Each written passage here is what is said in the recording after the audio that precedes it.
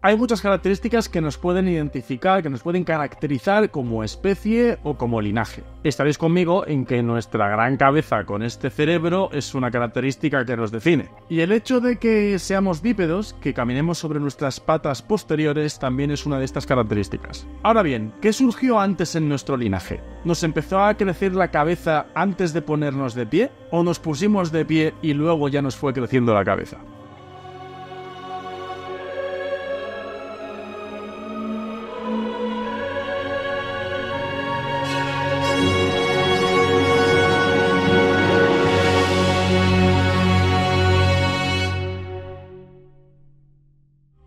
Hola, ¿qué tal? ¿Cómo estáis? Bienvenidos a un nuevo vídeo de la Fundación Palarc. Y en el vídeo de hoy vamos a dar respuesta a una pregunta que cuando estaban haciendo la paleontología y empezamos a hacernos preguntas acerca de la evolución humana, inquietó a todos los eruditos del momento. Y es que la evolución humana es uno de los campos más fascinantes de la biología y de la antropología, y la mayoría de las respuestas para esta evolución humana las encontramos dentro de la paleontología humana. Gracias a los estudios de paleontología humana y de arqueología prehistórica podemos llegar a contestar cuando surgen cosas que nos hacen quienes somos hoy en día, que nos hacen humanos. Entre los muchos debates que han surgido desde el nacimiento de la paleontología humana, uno de los más viejos ha sido qué característica apareció primero en el largo camino de nuestra evolución, si el desarrollo de un cerebro grande o la capacidad para caminar erguidos sobre dos patas. Bien, en los primeros días de la paleoantropología, cuando estaban naciendo como disciplina, muchos científicos creían que el desarrollo de un cerebro grande era el primer paso, el paso crucial que habría desencadenado toda la evolución humana.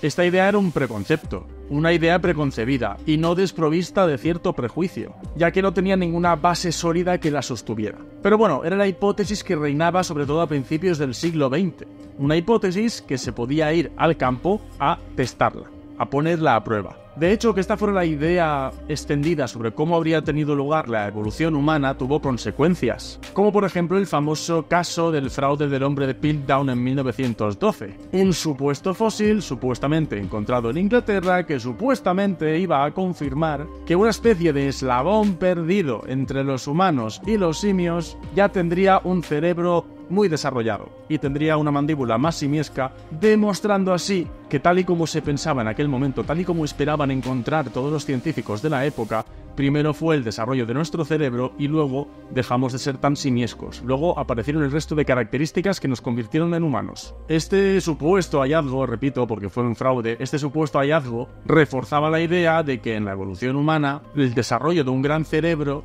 había precedido a el resto de otros rasgos característicos que tiene nuestro linaje. Por supuesto, era una falsificación hecha por hombres en aquel momento para aprovecharse de este debate y de los eruditos que estaban buscando los ancestros de la humanidad. Y por suerte se desenmascaró. Pero a pesar de que este fraude fue desenmascarado, esta idea, la de que el cerebro fue lo primero que se desarrolló en la evolución humana y que el resto de características vinieron luego, esta idea persistió durante mucho tiempo. Esta perspectiva se veía reforzada por la visión de que las capacidades cognitivas consideradas superiores era la característica más distintiva de nuestra especie que diferenciaba a los humanos del resto de animales y que por lo tanto necesariamente tenía que haber sido la primera en evolucionar. De manera que seguíamos teniendo esta hipótesis para contrastarla en el campo. Y la clave para la contrastación de esta hipótesis, para la resolución de este problema, estaba en el registro fósil. El cambio en esta comprensión empezó con el descubrimiento de ancestros de nuestro linaje encontrados en África, particularmente con el hallazgo de Australopithecus afarensis en la década de 1970. El famoso esqueleto de Australopithecus conocido como Lucy mostró claramente que el bipedismo había aparecido antes que el desarrollo de nuestro gran cerebro. Lucy vivió hace unos 3,2 millones de años aproximadamente, sus características anatómicas indican que ya podía caminar erguida, aunque su capacidad cerebral no era muy distinta de la de un chimpancé actual. Otros hallazgos de australopitecinos como Australopithecus anamensis o Australopithecus africanos también mostraron evidencias de bipedismo, mientras que nos seguían demostrando que tenían una capacidad craneal muy semejante a la de los chimpancés actuales, de manera que la evidencia se acumulaba a favor del bipedismo como precursor. Demostrando que nuestros ancestros empezaron a caminar erguidos mientras mantenían cerebros relativamente pequeños. Incluso con el tiempo se han descubierto homininos más antiguos que ya muestran cierta evidencia de bipedismo, de manera que este andar a dos patas en nuestro linaje viene de muy atrás. Y es que el bipedismo aportó muchas ventajas evolutivas, como por ejemplo la capacidad de ver por encima de la hierba alta en la sabana, o por ejemplo liberar las manos, que quedaron libres como para empezar a experimentar, a elaborar herramientas o transportar objetos. Asimismo, el bipedismo conlleva una mayor eficiencia energética en los desplazamientos y una menor insolación. Estas adaptaciones fueron cruciales en un entorno cambiante como es el de principios del Pleistoceno,